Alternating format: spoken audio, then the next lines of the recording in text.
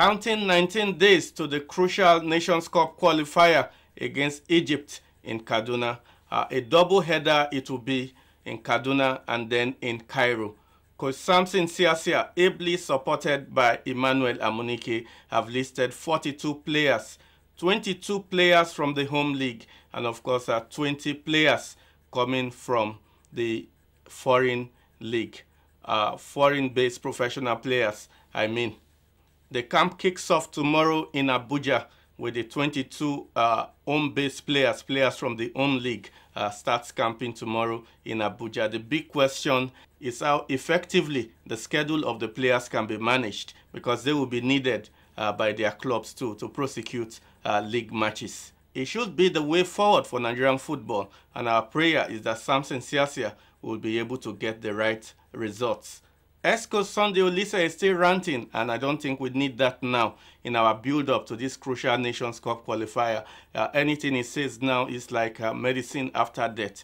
Uh, the way forward is, of course, uh, looking at how we can effectively uh, prepare uh, in our build-up to that match against Egypt. It is Hot Sports, and there's so much to offer you on the program this Saturday. Trending on hot hotspots this week. Former BBC and CAF Women's Player of the Year Asisat Oshoala visits HS Media Group ahead of our debut for Arsenal Ladies.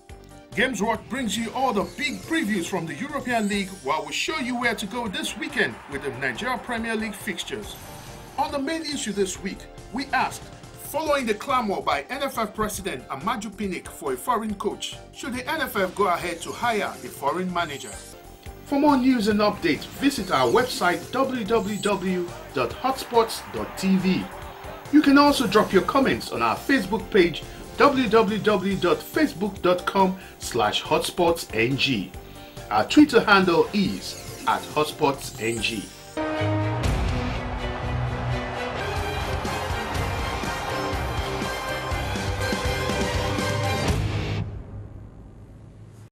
It's 10 more games to go in the English Premiership, and we're no closer to determining who will win the league this season. Arsenal have not taken the opportunities that have come their way and recently lost an important game to Swansea City, which left them six points adrift league leaders Leicester City.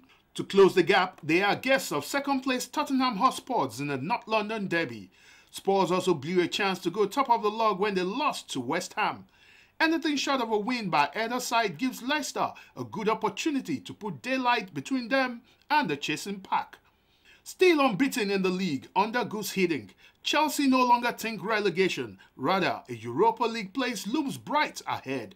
Seven points separate them from sixth place West Ham and this weekend they take on seventh place Stoke City.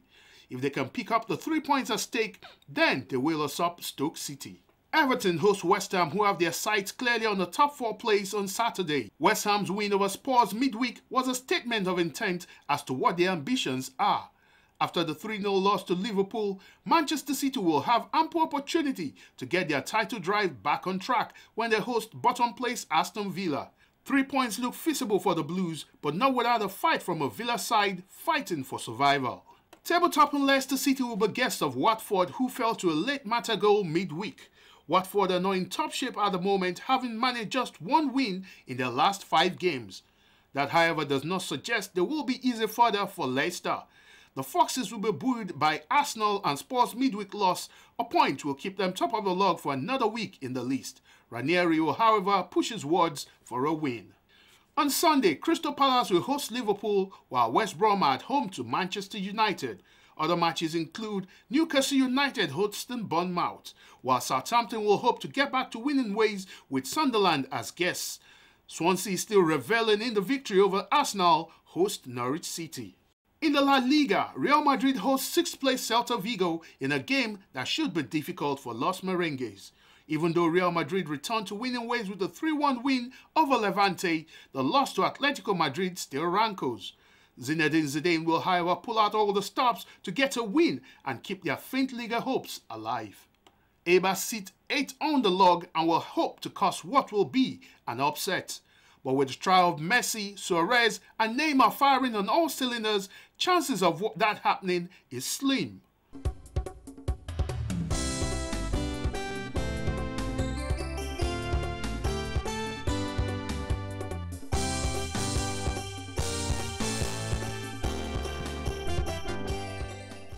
Action continues in the Nigeria Professional Football League this weekend. Rivers United will be at home to Nasarawa United. Shooting Stars host Giwa FC, while Sunshine Stars, who recently sacked their manager, will be hosting Ifeanyi Ubah FC. MFM with a fine start to the season will be in a local derby with Ikorodu United at the Onikan Stadium. Kanemi Warriors play Enyimba International, who got their first win of the season with a 1-0 win over Ikorodu United.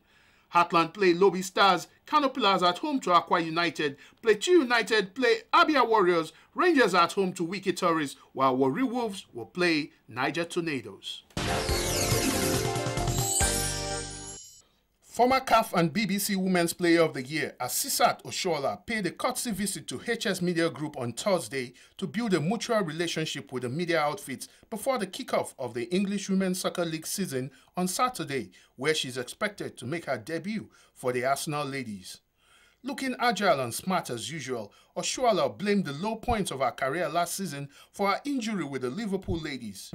I, I wasn't really happy about that. I was not really happy. But on the other hand, I had a series of injuries last season. I was out for about three months. So I think that was what brought about the disappointment regarding the um, losing the African Football of the Year to the Cameroonian. But I know this is a new year. This is a new season. I mean, we've got something to fight for again.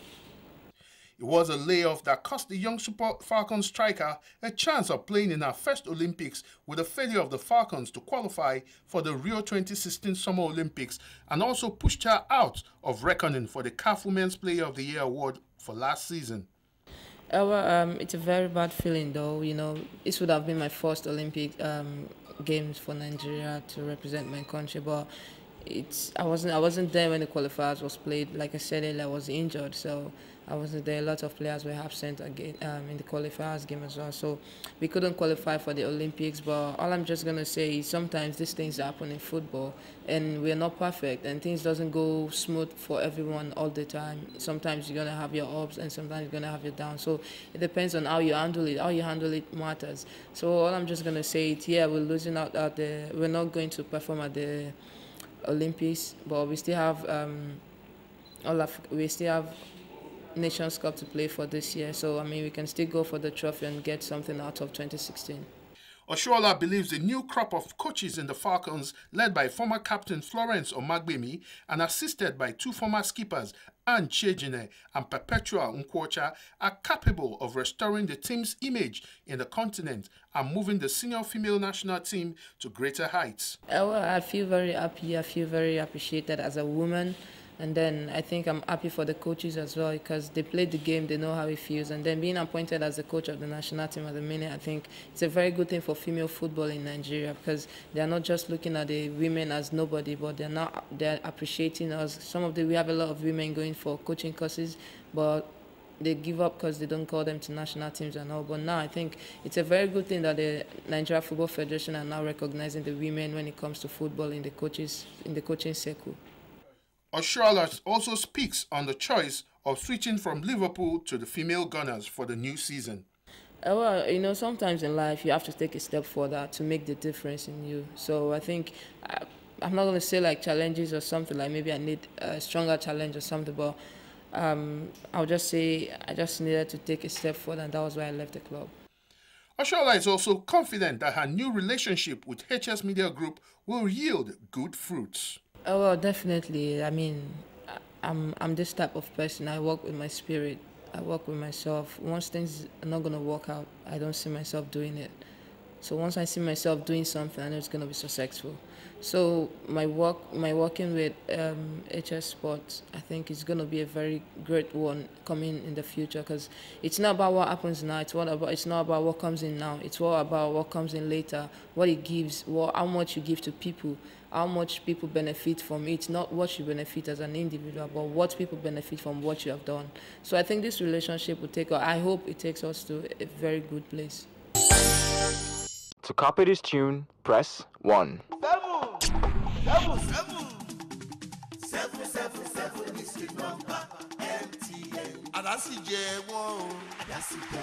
copy this tune, press one. Everybody, oya oh o. Oh. Join Jabajati with soft mathematics. To copy this tune, press one.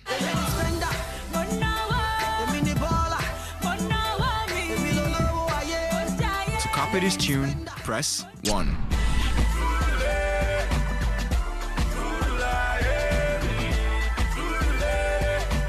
From yesteryear's evergreens to today's classics, MTN Color Tunes has got them all. Dial star 410 hash or text APP to 4100. Ah! This girl's enjoying your color tune now. What's your problem? Why do you pick up? You know what's gonna happen. I'm gonna call you back. When I call you back, don't pick. Just let it ring. MTN, everywhere you go.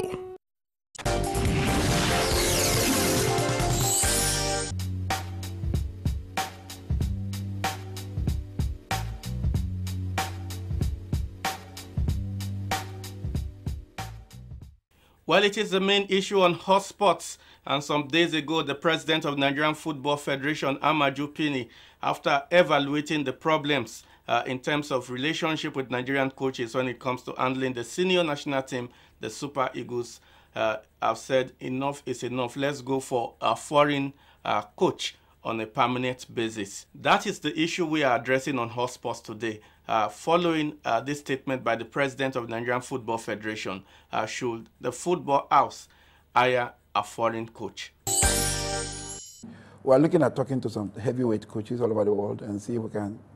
Our coach is sound, like I keep saying. I'm very proud of him, and uh, he's very, very sound. But there are still some things that possibly he needs to know about scoring. And to trash the main issue on Hot Sports today will be Chukuka Izuegbuna and Biola Kasim.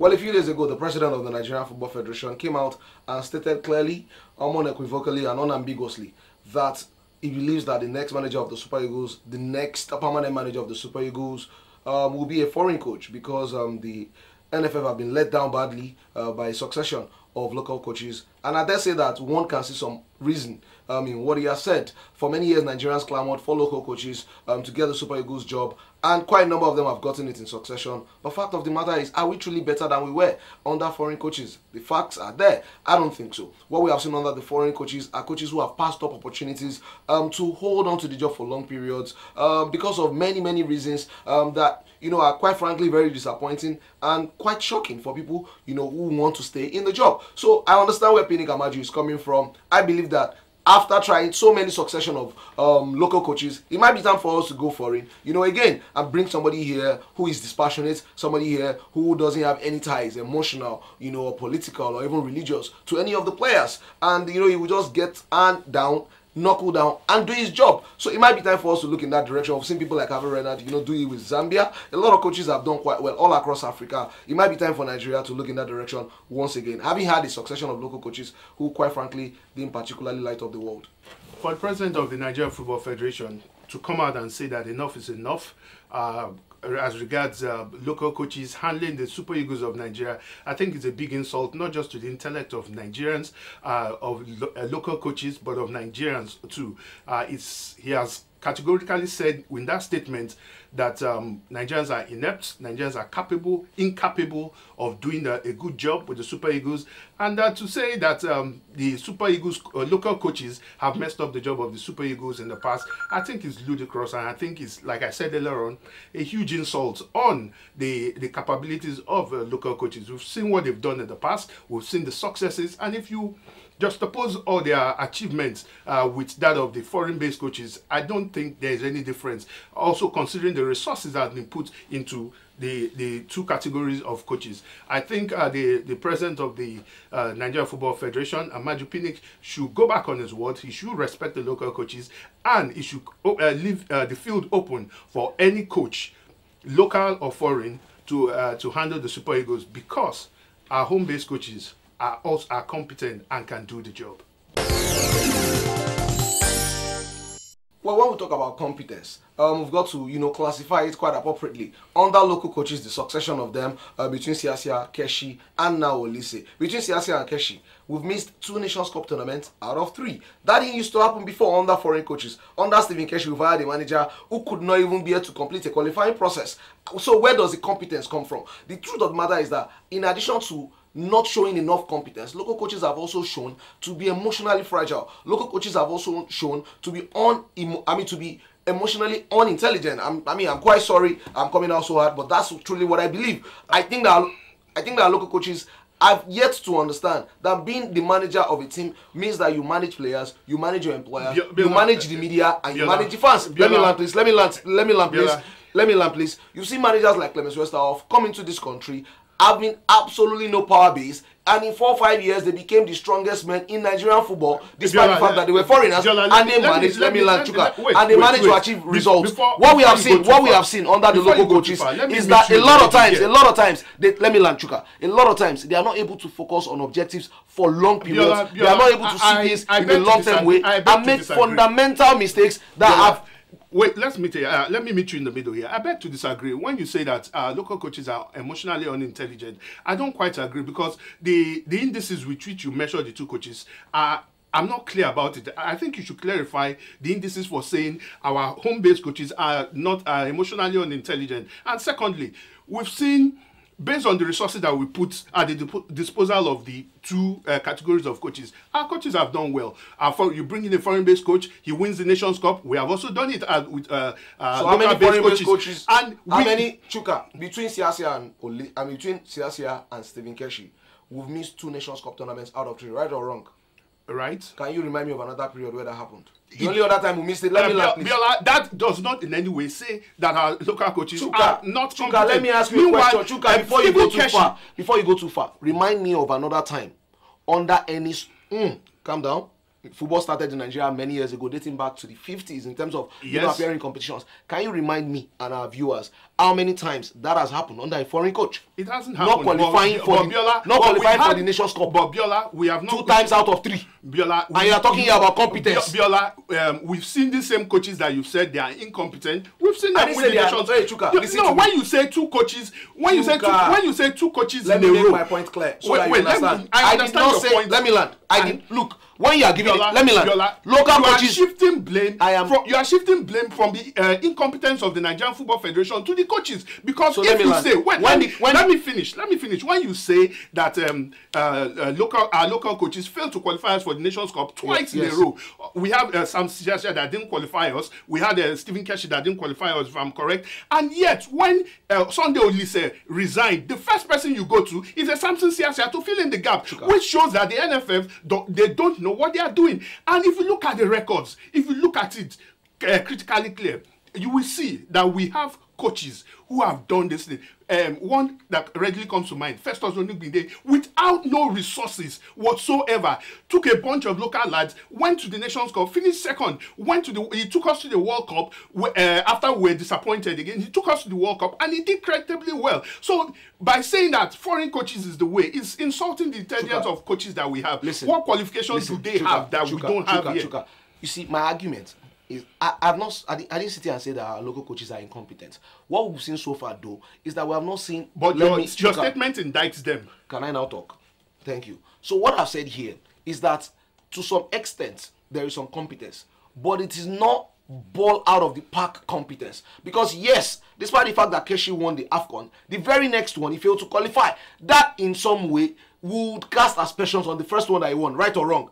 That's what I'm saying. I- I Sam don't Siasia's agree. Wrong. Chuka, Sam Siasia team, excellent, playing beautiful football. Somehow they could not qualify for the Nations Cup. So How does that make him a competent coach? What that means is that there is some competence there. That much I must accept. But truth of the matter is that the way football works is that intent is not enough. We need to see consistent Biola, results. And let me Biola. also let Chuka, let me also land. The way Amana Olise resigned fundamentally One, one bad apple does not spoil the bunch. when you say one bad apple, Now tell don't us any also other forget. coach- don't also any forget other local that coach- Nigerians Yes. also had extensive issues with Stephen Keshi over the choice and criteria through which he chooses players. Right or wrong? But right or wrong? Wait. Right or wrong? Chuka, wait, wait. You make Wait, your point. Right or wrong? In terms of Nigerians having those issues, a lot of we have over 140 million coaches in Nigeria. So there the- will always be people who do not totally agree with uh, a coach's uh, uh, choice of But you players. also agree with We've me that- seen you also agree with we've me, seen it Chuka, happen in the past. Chuka, even you with also- the so-called Chuka, Clemens Chuka, Chuka. Chuka, Chuka. Even with the you so-called also agree with me. You also agree with me that the World Cup list that Stephen Keshi put out had some players in it that up till this moment Biola, even with Westerhoff. remind me of one player with- that went to the World Cup that that, that, that, over that- the course of that- that- qualifying that was- for that the five years that, was West like- Ham that wait like for the five years that, that was like one for Wait, that was like Ruben Gabriel. Biola, for the five years that Western Somehow was coach players of the Super Eagles, we had we also had issues with him with some of the players he was invited. Like who? For Mention instance, we had occasions where he dropped uh, Austin JJ Okocha, and Nigerians Who vilified played? him. Who played? Wait, let me played? Nigerians vilified him for which Okocha was never dropped. Once Okocha took over the jersey from Siasia, he became He a regular was starter. dropped. He was dropped. Give us That, um, when was that pre-nation? Look,